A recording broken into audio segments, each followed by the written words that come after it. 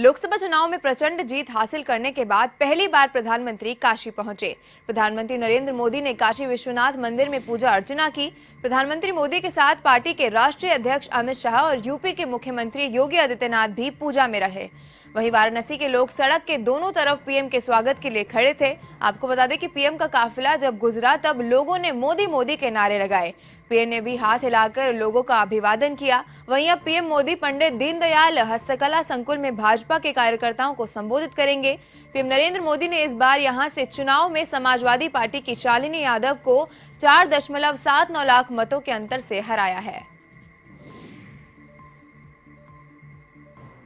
आपको बता रहे प्रधानमंत्री नरेंद्र मोदी आज वाराणसी के दौरे पर हैं।